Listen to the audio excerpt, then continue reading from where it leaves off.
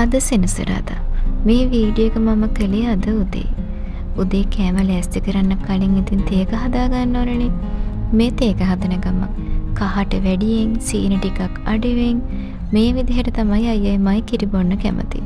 ඉතින් ඒ විදිහට කිරි එක හදන ගමන් මට හැබැයි අයිඩියා එකක් තිබ්බේ නැහැ මොනවද දෙට යන්නේ කියලා. ඒක හදන අතරතුරේ තම මට හිතුනේ ස්පැගති එකක් තියෙනවා ඒක හැදුවොත් හොඳයි නේද කියලා. හැබැයි ටොමැටෝ කෙචප් එක නන් නැහැ. ඉතින් මට හිතුණා ගෙදර තියෙන තක්කාලි වලින් මේක රසට හදලා බලන්න. තේක හදන්න වතුරුණු කරපු වෙලේ මං වැඩියෙන් උණු කරපු නිසා ඒකෙන් ටිකකුත් දාලා තක්කාලි ටික මං තැම්බෙන්න තිබ්බා. එහෙම ටිකක් වෙලා විනාඩි 5ක් 10ක් වගේ වෙලාවක් තක්කාලි ගෙඩිය තැම්බෙනකොට අපිට පොත්ත ඉවත් කරගන්න ලේසියි. තේක හදාගෙන තේක අපි දෙන්නගේ කෝප් වලට දාගෙන ඉවර වෙනකොට අපේ තක්කාලි ටිකක් තැම්බිලා තියෙන්නේ. ඉතුරු වෙලා තිබ්බ වතුර ටිකත් මම නන් ස්ටික් පෑන් එකට දාලා දැන් මේ හදාගන්න ස්පැගටි ටික තඹ ගන්න. සාමාන්‍යයෙන් ස්පැගති ටිකක් දිගයි අපි කඩන්න නැහැනේ. මේ පෑන් එක ඒකට ගාන නිසා මෙන්න මේ විදිහට මම දාලා තැම්බෙන්න තිබ්බා. ටිකක් වෙලා යනකොට මේ ටික තැම්බිලා පෑන් එක පුරා පැතිරෙනවා. ඉතින් මං ඒ අතරේ තක්කාලි ගෙඩි ටික උණුතරෙන් අයින් කරලා මේ විදිහට පොත් ඉවත් කරගන්නවා. මේ විදිහට පොත් ඉවත් කරගන්න හරිම ලේසි. ඔයාලට තක්කලි වල පොත් ඉවත් කරන්න ඕන නම් උණු වතුරේ ටිකක් වෙලා දාලා තියන්න. එතකොට අපිට පොත්ත මේ විදිහට ඉවත් කරගන්න පුළුවන්. මේ විදිහට මම තක්කලි ගෙඩි තුනේම පොත්ත ඉවත් කරගන්නවා. ඒ වගේම මම බීලෝනෝ අමු මිරිස් ඒ වගේම තමයි සුදු ලුණු මේ වෙනකොට සෝදලා තියෙන්නේ. බීලුණු වගේම අමු මිරිස් ටික මම පොඩි කෑලි වලට කපා ගන්නවා. සුදු ලුණු ටික චුට්ටක් පිහිමිටෙන් තලලා ඒ ටිකත් කෑලි කපා ගන්නවා. මේ ටික කපා ගත්තට පස්සේ මම තක්කාලි ගෙඩි ටිකත් මේ වගේ පොඩියට කපා ගන්නවා. චූටි චූටි කොටු හැඩයට පොඩි පොඩි කෑලි හිටින්න තමයි මම කපා ගන්නේ. මේ වෙනකොට අපේ ස්පැගති ටික තැම්බිලා මදි. තව ටිකක් තැම්බෙන්න ඕනේ. හොඳ සුදු පාට ගතියක් ඇවිල්ලා වතුර ටික උතුරලා මේ ස්පැගති ටික පිම්බෙන සයිස් එකට නිකන් අපි මේ ටික තඹ ගන්න ඕනේ. මේ තියෙන තැම්බුණට පස්සේ ඔයාලට වෙනස පේනවා ඇති. ඉස්බැගති ටිකක් තැම්බිලා ඒ කියන්නේ හොඳට දැක්කහම පේනවා පිම්බිලා තැම්බිලා තියෙන්නේ කියලා. මෙන්න මේ වෙලාවට ලිප ඕෆ් කරලා අපි මේ ටික තියාගන්නවා පැත්තකින්.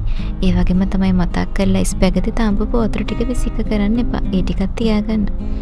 දැන් තියෙන්නේ අපේ ස්පැගති වල පේස්ට් එක හදාගන්න.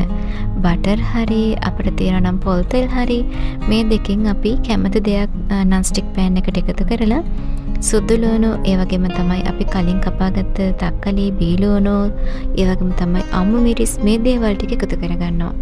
මේකටම අපි දාගන්නවා අපට අවශ්‍ය ප්‍රමාණයට ලුණු කුඩු කෑලි මිරිස් ඒ වගේම තමයි මිරිස් කුඩු චුට්ටකුත් දාගන්නවා පාට එන්න ඕන නිසා. ඔයාලට කැමති නම් කහ කුඩු ගම්බිරිස් වගේ දේවල් එකතු කරගන්නත් පුළුවන්. මේ දේවල් ටික චුට්ටක් කලවම් කරලා මම මේ ටිකට එකතු කරගන්නවා අපි ස්පැගති ටික තඹගත්ත වතුර වලින් ටිකක්. අපේ මේ පේස්ට් එකට ඇති වෙන තරමට මං එකතු කරලා මේ ටික තැම්බෙනකම් වහලා තියෙනවා තව විනාඩි දෙකක් විතර. තැම්බුණාට පස්සේ පියන ඉවත් කරලා මේ හදාගන්න පේස්ට් එක චුට්ටක් අපි හැඳි මිටින්ම චුට්ටක් තලා ගන්නවා. එතකොටනේ පොඩි පේස්ට් එකක් ගතියක් එන්නේ. එහෙම නැත්නම් පුළුවන් ඔයාලට මේ සේරම ටික ග්ලයින්ඩර් එකට දාලා හොඳට බ්ලෙන්ඩ් කරලා එකතු කරගන්නත්. එහෙම එකතු කරාමත් රසයි. ඉතින් මේ පේස්ට් එකට මං කලින් තඹගත ස්පැගති ටික එකතු කරලා ඒ වගේම තමයි ස්පැගති වල වතුර චුට්ටකුත් එකතු කරලා තව විනාඩි කිහිපයක් තඹ ගන්නවා. ලොකු වෙලාවක් නෙමෙයි විනාඩි දෙක තුනක් තමයි තඹ ගන්නෙ. මේ වෙලාවේ අපිට පුළුවන් මේකට එකතු කරගන්න තක්කලි සෝස් එක. තක්කලි සෝස් එකෙන් ටිකක් එකතු කරගත්තට පස්සේ මේ ස්පැගති එක ගොඩක් රසවත්.